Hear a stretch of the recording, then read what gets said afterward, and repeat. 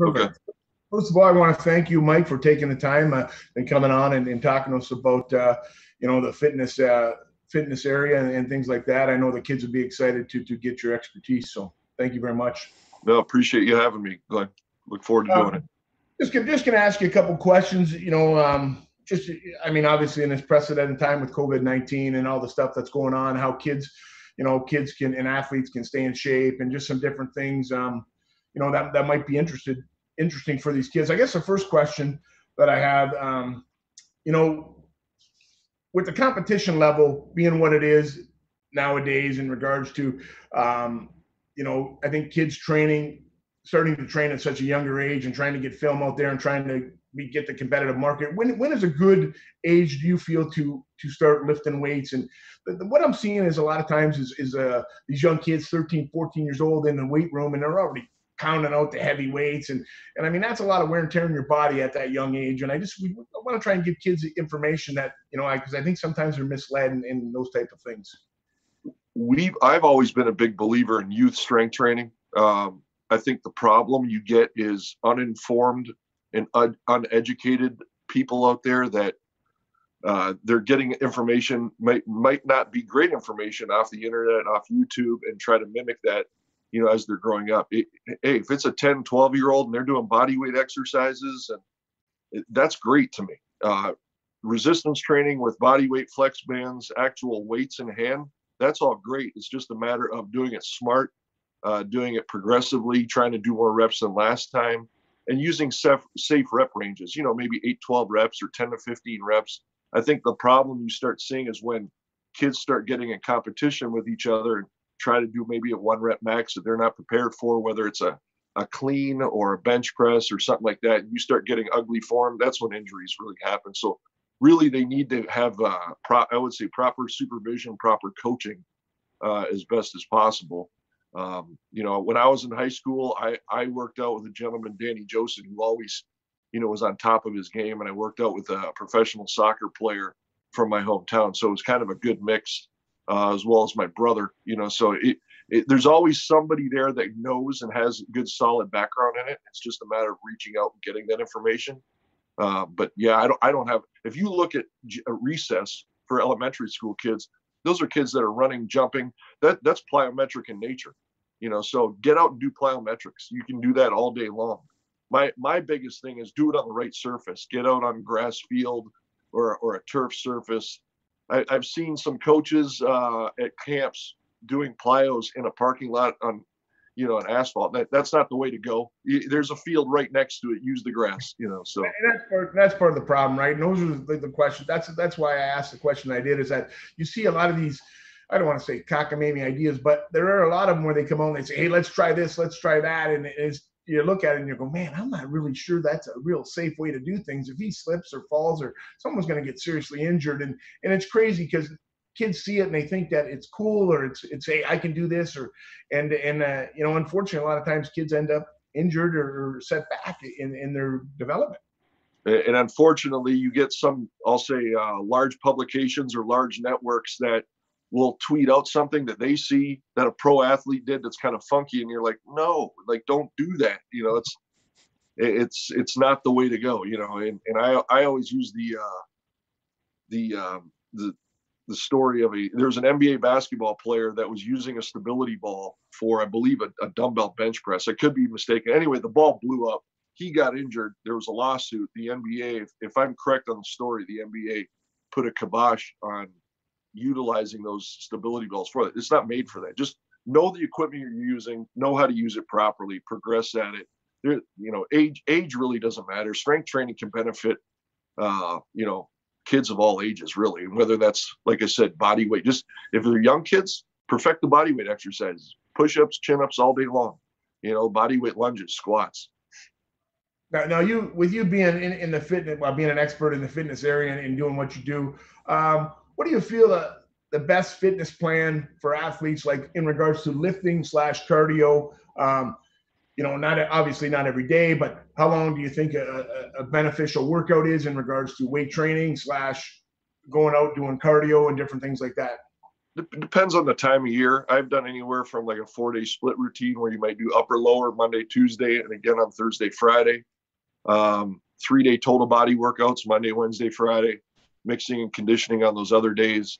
I, you know, obviously in season with a lot of sports, you're looking at about twice a week, depending on the schedule, if you can. And you're probably, you know, for in season strength training, I'd say 30 minutes to 40 minutes tops from start to end. You know, off season, I'd say our guys are in there for an hour uh, at a pop, but but it's work time. It's not a lounge. It's not sitting there in between sets doing this what you and me are doing right now, BSing. You know, we're, we're well, work. Absolutely, but what you see a lot of times is these kids go to the gym and they're in there two and a half hours, and I'm going, man, like you know, you're a young kid, like yeah.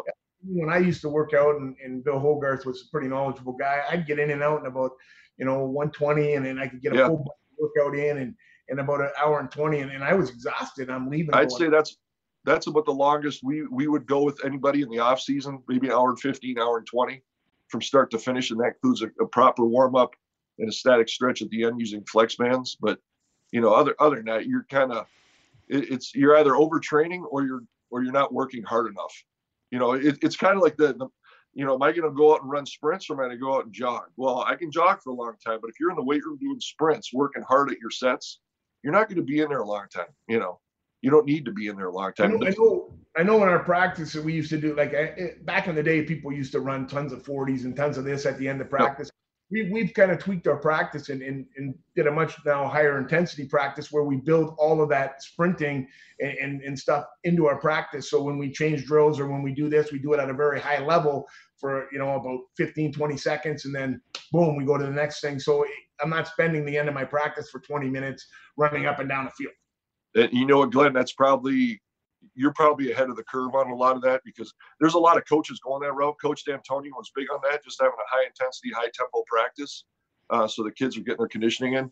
Working basketball for all the years I did with Coach Izzo, it was the same, you know, same thing. He's it's a high tempo. It wasn't you didn't never have to line up on the line to, to run some sprints. You know what, what I found obviously is kids would just save it, save it. They they'd have a half-ass practice and they'd save it, and then they'd be able to run the sprints at the end, and and you know they'd be finishing out strong, or and you're just going, well, yeah, that's great. We had a terrible practice, but we ran sprints great. Yep. No, absolutely. And I think there's something to that psychologically. Like if they know they don't have to run sprints, they're going to practice harder for you, like you said. You know, that they if you, you sell it that way, they they will buy in for sure. But you know, going back to a conditioning standpoint, like in the off season, like at this time right now, hey, anybody can go find a field. You know, find a field, find a a patch of grass, a, a track, whatever, to get out and do some sprint work, some interval work. That's the way. I don't care what sport you're really in right now, other than I'll say marathon running or cross country running or long distance swimming. Uh, more more team sports are anaerobic in nature, where you're going to be doing a lot of interval sprint work, and that's that's probably the best way to go. But you can get out and do that. I tell my hockey players, hey, get out, and find find a hill. You know, we have a few hills around here in town or where you're living. Find a hill, do some hill sprints, do some plyos. You know, uh, that that stuff you don't need a gym for that. No, absolutely. And that, that kind of leads to my next question. Obviously, with the situation everybody's in nowadays, what can athletes do at home? Um, obviously, a lot of kids don't have a home gym, right? right. They don't we not only have access to a, a, great workout facility. Let a lot of these guys do it either in high school or they have memberships at different places. But you got to kind of utilize your, your stuff you have at home or out in the neighborhood. Like, what are things they can be doing to to stay in shape? We we've provided our athletes here at Michigan State uh, with a, lo- a, number of different workout plans for those with home gyms, uh, where they have bars or dumbbells or just body weight workouts.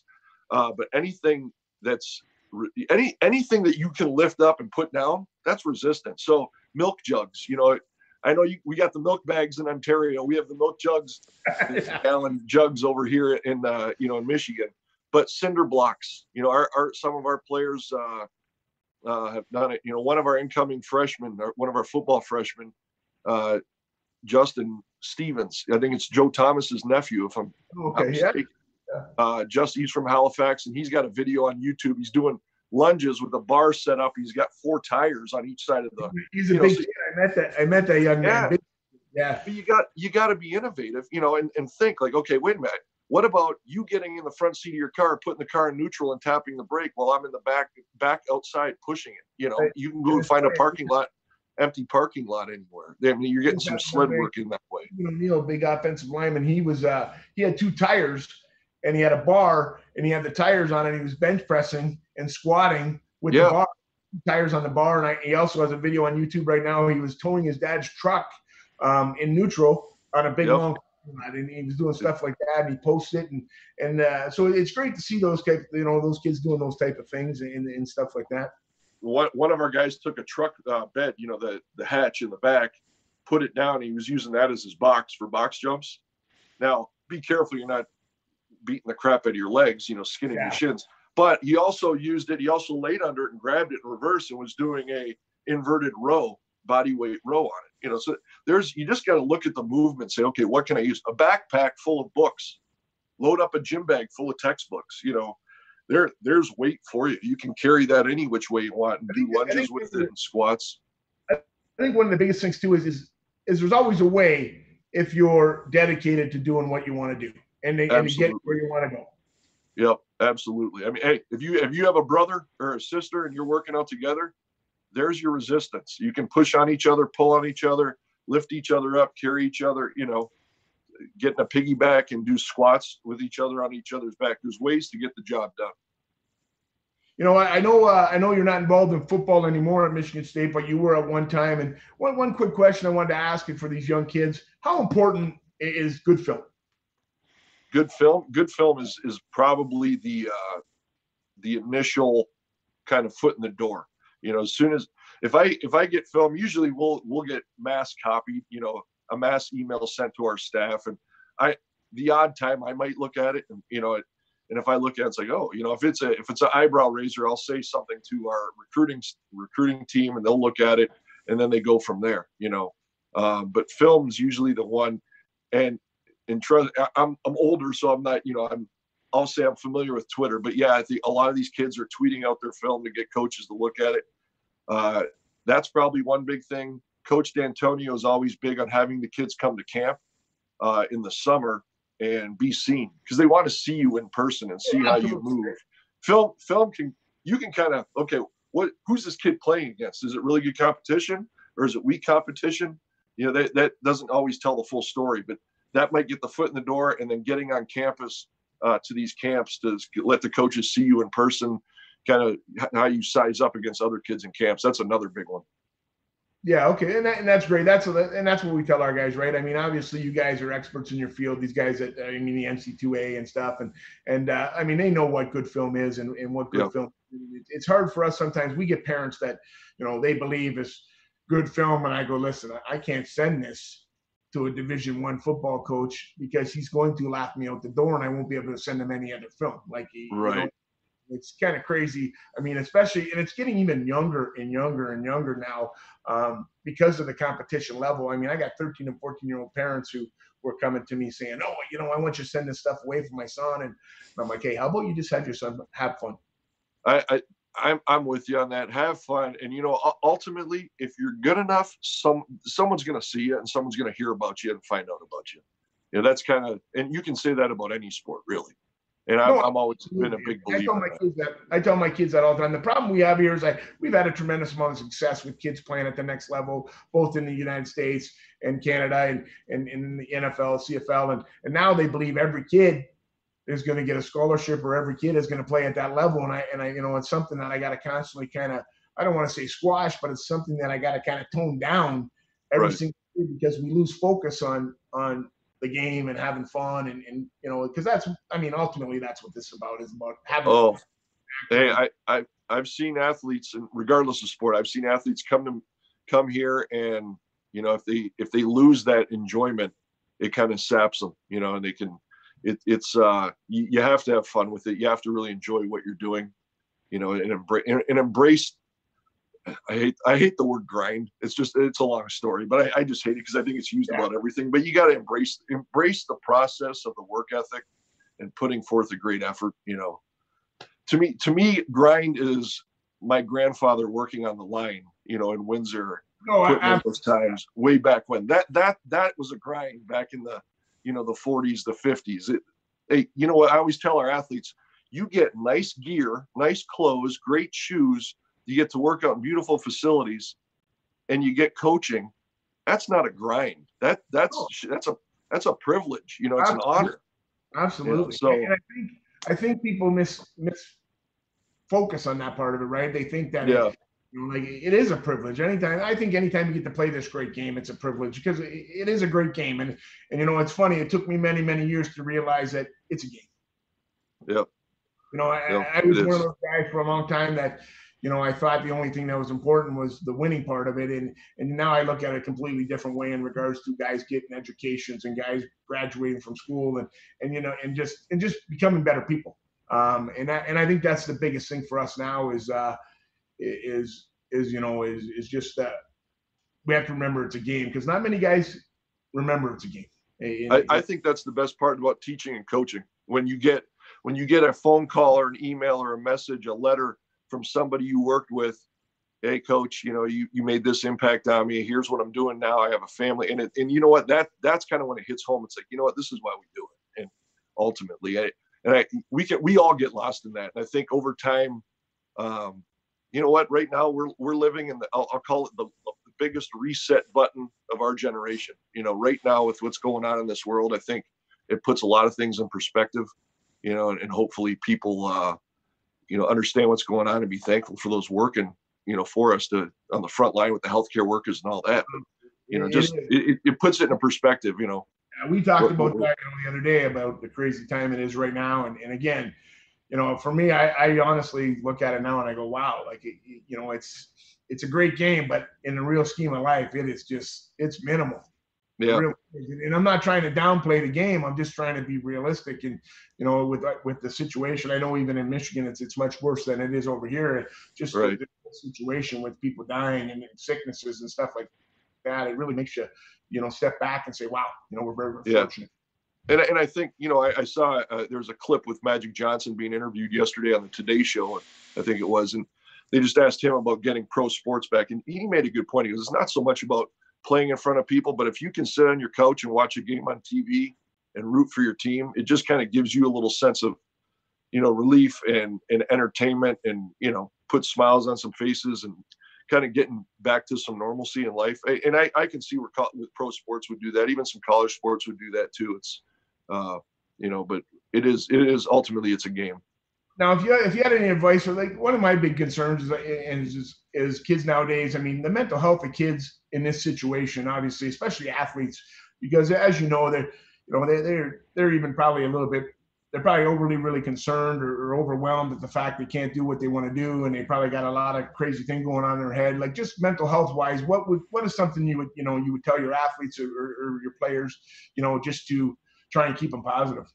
I, you know, uh, first and foremost, I'd tell them, hey, reach out, call me. You know, if I, I'm a coach, I, I got no problem. Reach out, text me, call me. But I, I want to, you know, make sure they're talking to the right professional. If it's, uh, you know, if they're feeling that down and out, who I really feel bad for. A lot of these kids, whether whether it's high school seniors, college seniors, uh, a lot of them had their end of their school year and the end of their college and, and high school athletic careers yanked out from under them and not being able to sense of closure and the, to end it how they wanted to, to end. I'm not talking about winning championships, but at least playing out the seasons and stuff like that. They haven't gotten the opportunity to do so. And uh, it's it's when you when you when your playing career ends, um, it's kind of like a funeral because it's as you know as you know it's like it's all of a sudden it's done. You know it's gone. It's like a death in the family. It's gone. And and for some of these kids, they'll never play a team sport again unless it's rec sports. It's done. It's gone. So they do need to kind of feel feel through that. I, I even say I use Joe Montana, Super Bowl MVP, Hall of Famer. Um, eventually, at one point in his career, it was done for him. And I and I don't mean he's got mental health issues. I'm just saying I don't care who you are. If you're a walk-on kid, you're a high school high school athlete. When it's done, it's over and you you have to work work be able, be able to work through that. It it is a it's a sense of loss, and Well, more I- probably I- more so I know when I couldn't play anymore. It was probably very more so from the camaraderie. You know, in the locker room, anything else more than the game itself. You know, you you don't you don't get that anywhere else. and that, and that's what I'm missing right now. Like just missing going out with the kids, with the Yeah. coaches.